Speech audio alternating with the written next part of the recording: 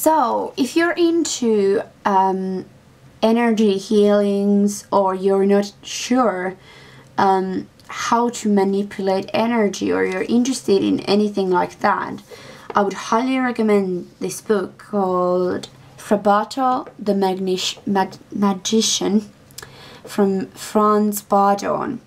And I don't actually have the book. I have uh, got this from a friend of mine through a PDF in, and I have just printed it out. And this is one of the greatest books about like magic and esoteric wisdom and knowledge.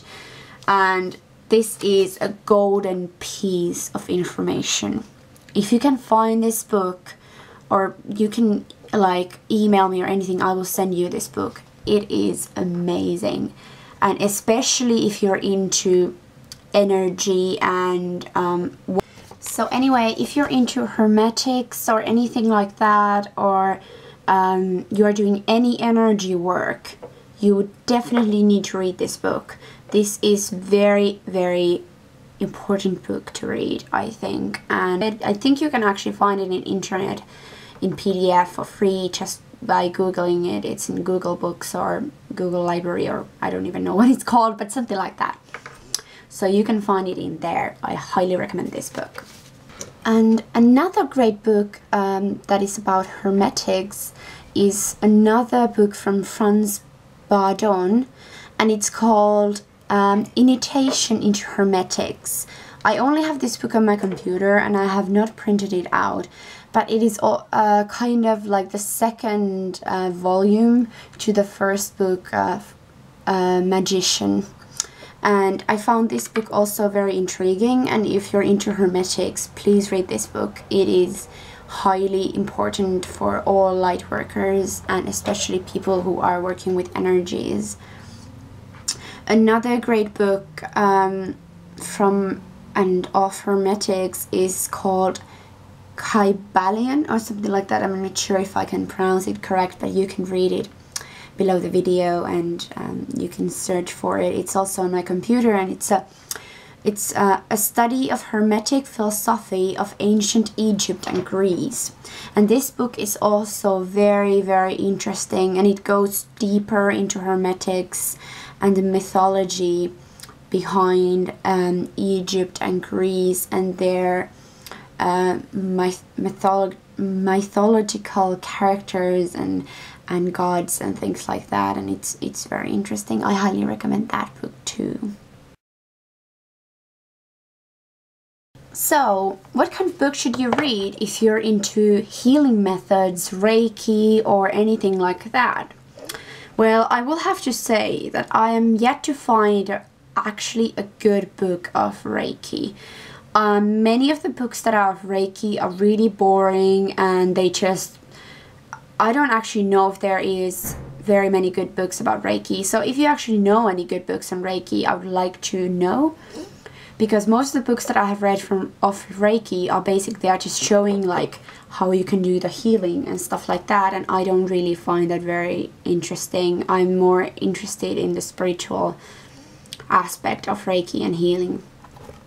But one good book that I have found on Karuna Reiki is the book on Karuna Reiki, Advanced Healing Energy for Our Evolving World by Laurel Shanti Gaia. And um, this is a really good book, especially if you're thinking of doing Karuna Reiki after having your attunements to Reiki practitioner 2 and Reiki master or above that to Reiki teacher. And you can only have Karuna Reiki attunement if you have already got Reiki Usui Reiki attunements. So anyway, this is a really profound, like, um, practical book uh, explaining all the things like historical origins of Karuna Reiki and um, explaining techniques and different things like anxiety and allergies and how to use Karuna Reiki with these and how to work with Karuna Reiki and angelic realms and things like that and you can also have your own notes in here and then there's some really good like basic information about chakras and vowels and sounds that are connected to different chakras and things like that. So I, I highly recommend this book if you are into Karuna Reiki or you have thought of doing that. One of the first books that I learned about angels is actually Lorna Byrne. This book is in Finnish and it's in Finnish it's Enkeleitä hiuksissani. But in English it's something I think it's like angels in my hair or something like that. And uh, this is the first book. She has wrote uh, written two books and this is the first one. And then the second one is something like um, staircase to heaven or something something like that. I don't I have read it in Finnish so I don't uh, know the name but it's Lorna Byrne. And um, she's one of the only people on the whole planet who can actually see angels like as uh, you are seeing me now she can see angels like that. And she has talked and communicated with angels her whole life and just recently she got a permission to write a book about it and she had had a very challenging life too and this is also like her her story and how angels have helped her on her way. And this is the kind of book that anyone can read. This is just for anyone who is who wants hope in their life who is feeling hopeless or desperate who would just or anyone who would just want confirmation about angels and their existence. This is a great book. I highly recommend it. It is really easy. Read it's very enjoyable. It's it's a true true story. It's very practical and real and um, it is one of those books that really makes you believe that everything that happens in our lives is divinely guided and angels are everywhere and whatever happens in our lives. And Lorna has gone through some tough tough things and she is very honest about it. And it really gives you hope. So this is a really nice book.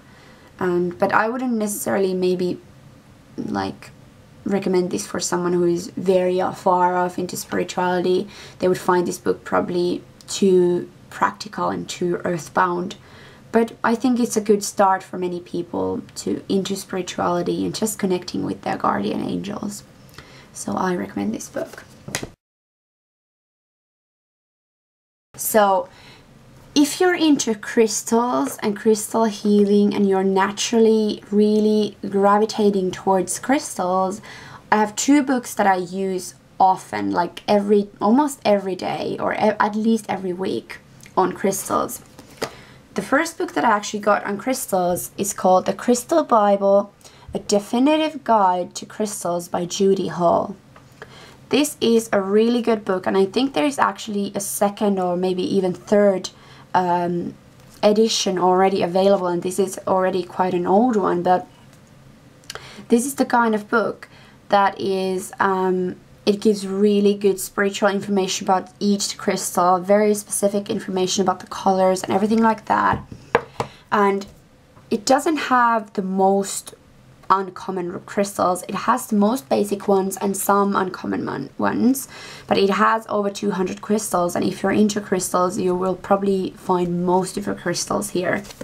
And what is best about this book is that for example, um, let's take like, okay, like Chalcedony for example, and it shows the crystals picture here and all the information about crystals and then uh, healing attributes, position, specific colors, and it tells about the specific colors or things like that connected to that specific crystal. And that is why I use this book so much because it actually, my friend is texting me, because it is actually very, it gives very specific information about crystals. Another really good book is the, the New Crystal Bible, Over 500 Crystals to Heal Your Body, Mind and Spirit by Cassandra Eason. This is also a really good book on crystals and I use this especially for quick, um, if I'm trying to find a specific crystal for a specific reason uh, or thing. For example, if I have a problem with, um, I don't know, I would have, I would want to quit smoking. I, I don't smoke but if I would want to I just go here on this list and I go okay there's some crystals that it says like would be good and then I just go to the crystal and I see where it is and it is all arranged within colors. So if you know that you're you're trying to find what crystal some crystal is and you know the color you may be able to find it just by the color uh, this has a lot of crystals in it and it does give some information about it but it gives more like um, practical information about the properties of the crystal like how rare it is and things like that and actually like what colors it has and things like that. But it doesn't give so much like you can see like for example lemon quartz compared to the information in crystal bible which can have like two or three pages of one crystal this only has like something like this and it usually has here like a bit of it. And it usually get, gives like historical information about that crystal or something like that. And it does give some like emotional healing and physical benefits but it doesn't go into very deep into it. But this is a good like um, bibliography kind of book for crystals and I use both of these so what I would say about these books about crystals is that they complement each other very very well. And this is the kind of books that book that you can really use when you are already quite used to crystals. But I would not recommend this for a first book because with this book you really cannot tap into the healing properties of each crystal and a deep understanding about each crystal's healing properties and that is why I would highly recommend Judy Hall's book as your first first crystal book and to use it really to understand why you're drawn towards specific crystals and what these crystals might help you with. So these are really good books for crystals in general and there are a lot of crystal bibles. I think these are really really good ones and I would highly recommend these. So thank you very much for much for watching my video. I hope you enjoyed it. I'm sorry it was so long, but I just had so many books.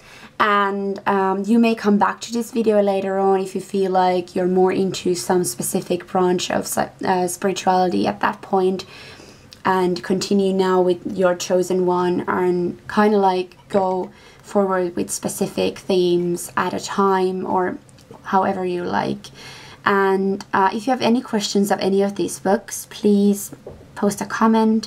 I'm really happy that you watched these videos and hopefully, hopefully I introduced you to some books that really caught your attention and let me help you with anything if you feel like it. So, namaste. Have a beautiful, beautiful day. I hope you have a lovely week and shine your light. I love you all.